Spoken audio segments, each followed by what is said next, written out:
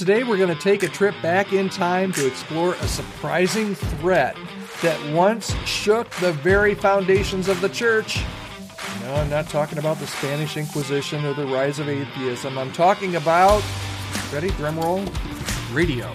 That's what we're going to talk about today on the Healthy Church Staff Podcast. My name is Todd Rhoades. I'm your host and one of the co founders over at chemistrystaffing.com. Now, I know what you're saying. You're saying, Todd, radio? Seriously? That harmless uh, little thing that plays music and talk shows? How could that possibly have threatened the church? Buckle up.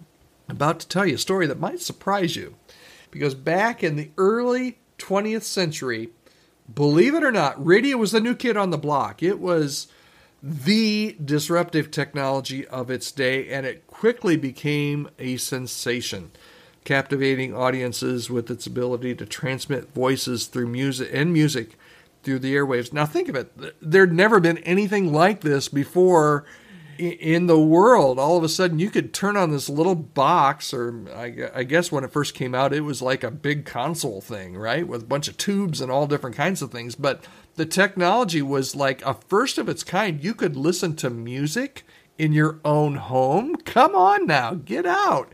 You could listen to voices, you could hear news broadcasts, you could hear Jack Benny and all different kinds of comedy and radio dramas and, suspe- and suspense things. It was a brand new thing. But for the church, now for the church, it was radio was a double-edged sword. On the one hand, it offered unprecedented opportunity to spread the gospel to a wider audiences, and churches could broadcast sermons and music and devotional programs reaching people who might never step foot into a sanctuary. Now, yesterday we talked about digital strategy. Do you see a little bit of parallel here?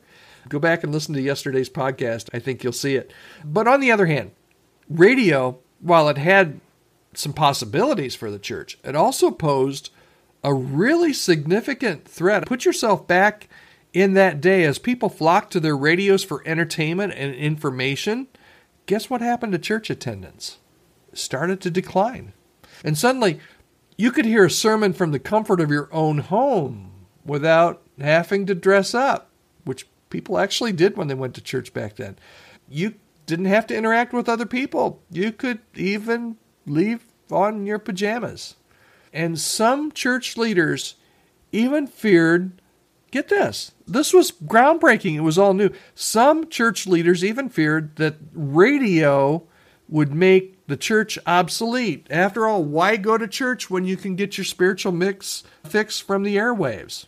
Now we know that the church did not go obsolete and and any serious student of scripture knows that radio was not going to make the church obsolete. But church leaders were scared and rightfully so. The church Though it didn't disappear, it adapted. It embraced radio as a tool for ministry, also recognized the, recognizing the importance of in-person community and worship. And I think that's you know, that's still a lesson for us today in the age of podcasts and live streams and social media.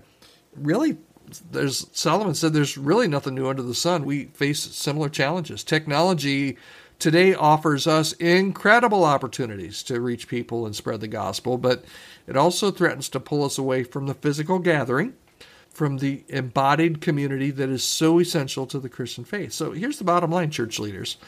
Let's not make the same mistake that some of our predecessors made back in the early days of radio. Let's embrace technology as a tool, not as a replacement, but as a tool.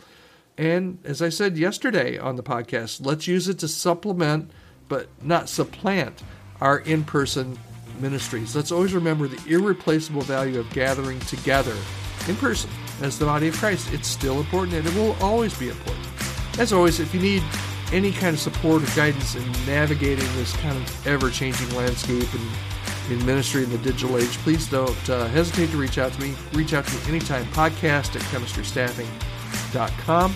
I'm here to help you with some coaching, anything that you need your church is looking for a brand new staff member, that's what we do all day, every day at Chemistry Staffing. I'd love to be able to partner with you and your church and to tell you a little bit about how Chemistry Staffing can help you in that area as well. So feel free to reach out to me anytime at podcast at chemistrystaffing.com. Thanks so much for listening.